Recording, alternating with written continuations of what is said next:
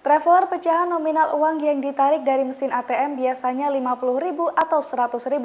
Namun baru-baru ini beredar video yang menunjukkan mesin ATM dengan pecahan Rp20.000. Diketahui mesin ATM yang ada di video viral tersebut berada di titik 0 km Yogyakarta. Dikutip dari tribunsolo.com, video tersebut diunggah oleh akun Instagram Jogja pada Rabu 12 Januari 2022. Setelah diunggah, video tersebut viral dan mendapatkan berbagai komentar dari warganet. Tak sedikit warganet yang terkejut lantaran masih ada ATM dengan pecahan 20 ribu. Sementara itu, pihak bank pun buka suara terkait ATM viral tersebut. Dilansir dari kompas.com, Sekretaris Perusahaan PT Bank Negara Indonesia, Muharram membenarkan bahwa BNI masih menyediakan ATM dengan pecahan 20 ribu. Bahkan, ia menjelaskan bahwa keberadaan mesin ATM pecahan 20.000 tak hanya berada di titik 0 km kota Yogyakarta saja, melainkan tersedia pula di dekat sentra-sentra pendidikan atau kampus. Muharram menegaskan bahwa hingga saat ini BNI hanya menyediakan ATM dengan pecahan paling kecil 20.000. Adanya ATM dengan pecahan 20.000 ini juga dinilai dapat membantu nasabah dengan saldo di bawah 50.000.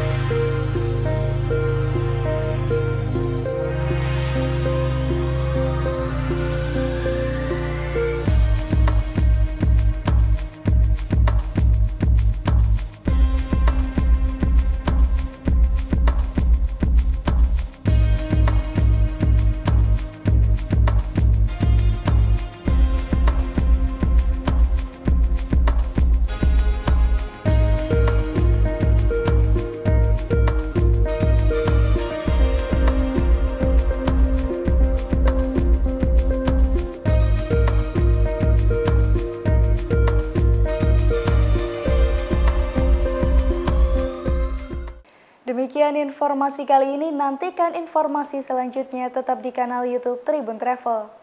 Terima kasih sudah nonton, jangan lupa like, subscribe, dan share ya.